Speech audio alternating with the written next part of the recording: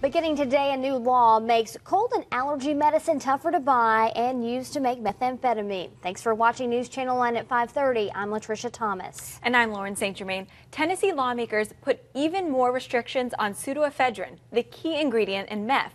News Channel 9's Brianna Arredondo joins us more joins us now with more on what that means. Brianna. Lauren Latricia, this new law cuts the allowed amount of grams one person can buy down to less than six grams a month. But that change also uh, that changes also the rules for people who need cold and allergy medicine for when they're sick.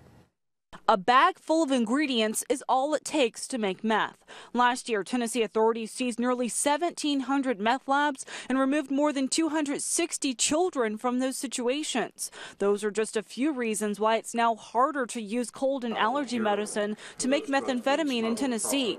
Sergeant Daniel Jones of Chattanooga Police tells me how a trip to the pharmacy changes beginning today. If someone keeps continuing to buy over and over and over again, then they'll have to actually go ahead and they'll, they'll they'll have to have a doctor's prescription in order to purchase over that 28 grams.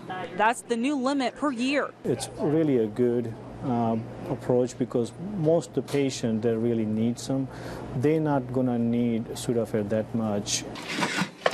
The 28 gram restriction is about five months worth of the maximum dose of Sudafed. So nobody can just sell the Sudafed without logging and registering that person who is buying the Sudafed into the computer. That helps keep track of who's buying.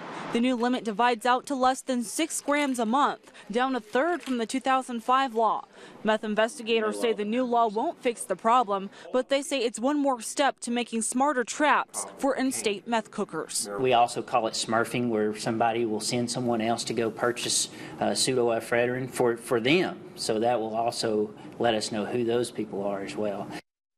And anyone who needs pseudoephedrine for nasal decongestion can still get it, but they'll need a prescription if they need more than 28 grams a year. The top places that the TBI busted for meth labs included Hamilton and McMinn counties in 2012.